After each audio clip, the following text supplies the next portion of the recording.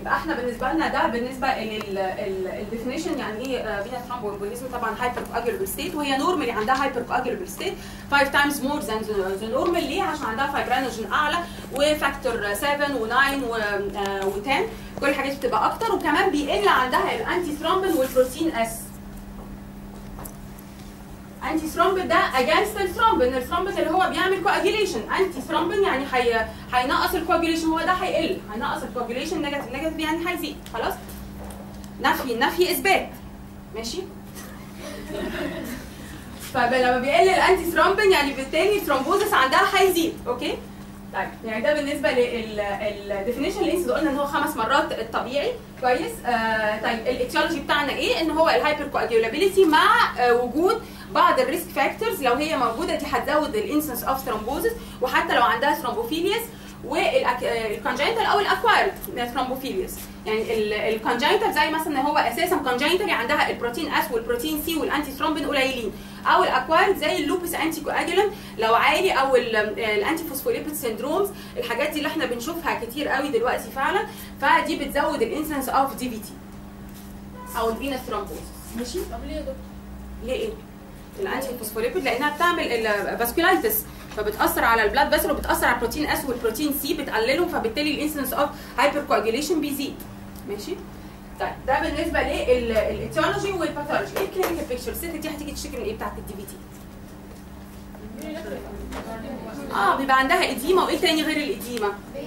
pain pain و redn يعني ال signs بتاعت الانفلاميشن بين وردنس وهاتنس وتندرنس خلاص في ال calf muscles وعامة بتبقى unilateral صعب قوي إن يجي لها DVT يعني thrombus في الناحيتين كده يعني دي بتبقى صعبة شوية فهو عامة بتبقى unilateral وبتبقى في ال calf muscles وكمان في حاجة very characteristic لما تيجي إن هي تدوس على الأرض كده بتلاقي إن هي في referred pain أو shooting pain بيحصل في ال calf muscles بتاعتها خلاص دي بالعينة بتاعت ال DVT فده بالنسبة لل clinical picture طبعا ال clinical picture بتاعت الأم. هو الطبيعي يا جماعة كل ال clinical picture بتاعت الأم. هي بس في ال erythroblastosis fetalis هو اللي كان ال clinical picture بتاعت البنت.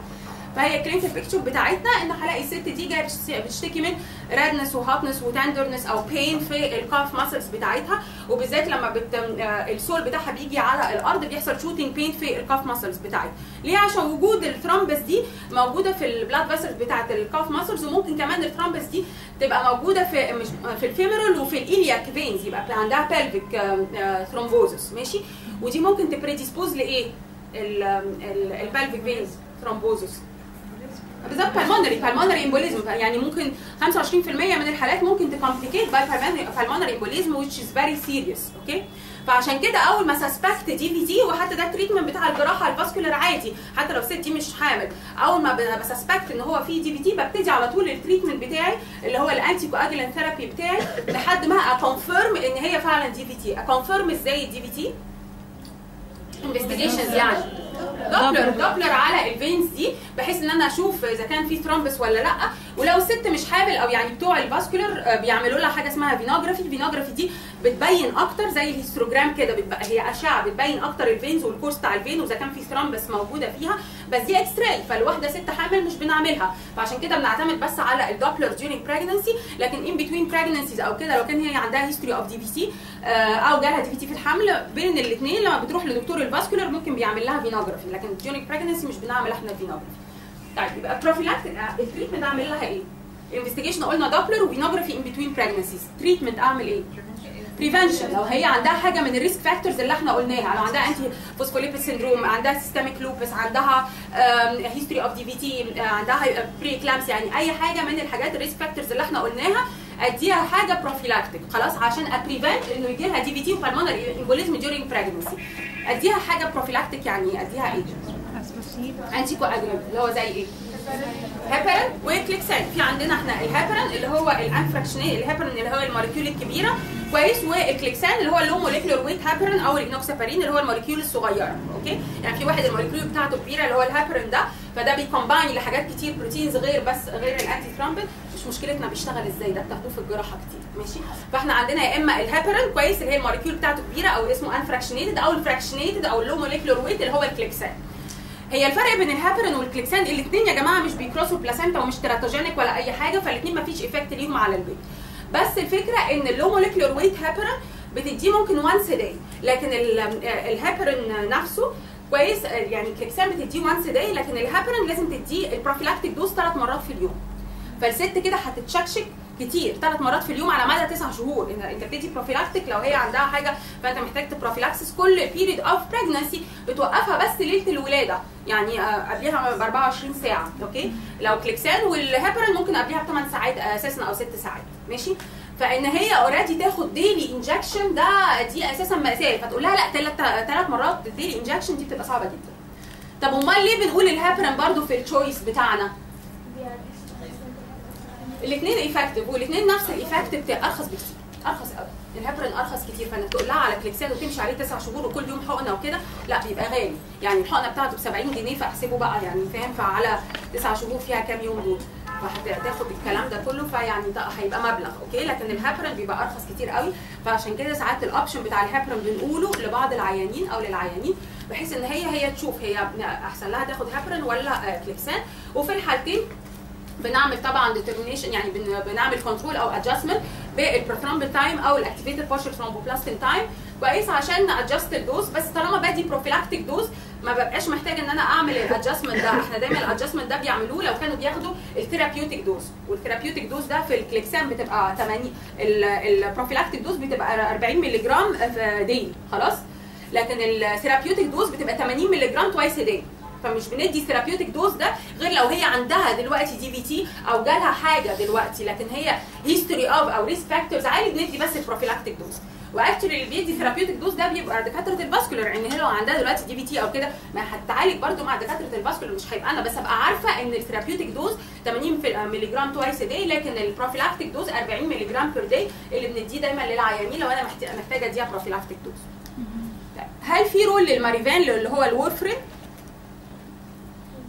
ال warfarin ده oral anticoagulant فلا بقى ولا في injection daily ولا كلام من ده. ده هو oral anticoagulant زي ال oral hypoglycemic لما خدنا في ال diabetes ماشي؟ انسولين ده injection لكن وفي oral hypoglycemic هل ممكن أدي oral anticoagulant اللي هو ال warfarin أو ال Marevan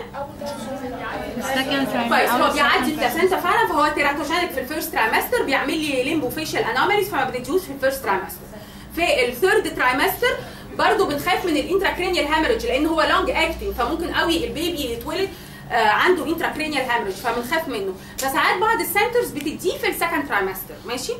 لكن إحنا كدكاترة نساء ال practice بتاعنا بصراحة بنكمل كله على ال Clexane آه، أو الهابرين لكن مش بندي Marevan خالص أو ال- ال warfarin بالرغم إن هو evidence based إنه ممكن تديه في ال second trimester مش هيعمل مشكلة لكن هو first trimester contraindicated third trimester contraindicated ممكن تديه في ال second trimester عشان تخلي الست بس الثلاث شهور دول بدل ما هي برضه تقعد تتشكشك إن هي تاخد حاجة oral anti okay؟ heparin بس injection ما بتديوش غير IV injection ال heparin وال Clexane subcutaneous injection ماشي؟ يعني فالاثنين ما فيهمش غير oral هو كله injections بس. ماشي؟ ده بالنسبة لل treatment آه sorry ال treatment هو في prevention لو العيان عندها risk factors وكده فبنديها ال prophylactic dose ك active treatment بقى بنديها ال therapeutic dose آه بتاعت ال oral anticoagulant طبعا once confirmed إن هي عندها DVT بعمل لها total immobilization عشان أخاف إن ال thrombus اللي موجودة دي ت dislodge وتعمل لها pulmonary embolism ف once diagnosed DVT بال Doppler وكده خلاص يبقى لازم تبقى immobilized لحد ما اعمل treatment أو ادوب ال- الجلطة اللي حصلت دي بال anticoagulants اللي أنا هديها طب أمال بقى لو pulmonary embolism هيحصل إيه؟ pulmonary embolism طبعا هيبقى فيها dyspnea و tachypnea و tachycardia والحاجات دي وت- وتجري على ال ICU عشان بيحصل لها ECG changes و آه، ممكن يحصل لها sudden death طبعا وبيدوها بقى ال therapeutic dose بتاعة ال oral anti sorry ال IV anticoagulants عالية قوي عشان تعمل treatment لل pulmonary embolism ماشي. في سؤال في ال venous thrombosis يا دكاترة؟ بكره هناخد الحته هتلاقوني بتكلم كده زي كريمه مختار وحاجات كده اللي هو نوزيا وفوميتنج ديورينج بريجنسي ومش عارف التهابات في البول وحاجات كده هيبقى يعني محاضرة لطيفة جدا والأنيميا وتاخد حديد وكلام من ده. وبعد بكرة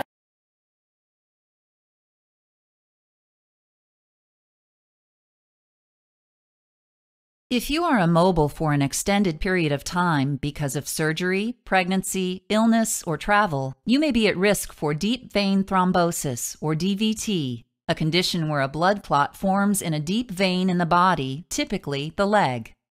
Unlike arteries, which rely on the heart to force blood through them, Veins transport blood with the help of muscle contractions while you move and walk.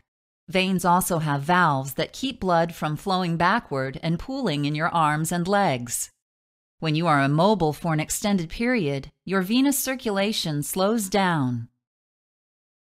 As a result, clotting factors in the blood may cause the slow moving blood to clump together, forming a blood clot or thrombus. This condition is called deep vein thrombosis, or DVT. Common symptoms of DVT include swelling of the leg or a vein in the leg, pain or tenderness in the area, increased warmth in the skin, and red or discolored skin. In some DVT cases, a blood clot may detach from a deep vein and join the bloodstream. The clot travels from the deep veins of the leg, through the veins of the abdomen, into the heart, and finally lodges in the pulmonary artery or its branches, blocking blood flow to the lungs. This condition, called pulmonary embolism, is very serious and may permanently damage a portion of the lung. If a clot is large or if there are many clots, pulmonary embolism may also cause death.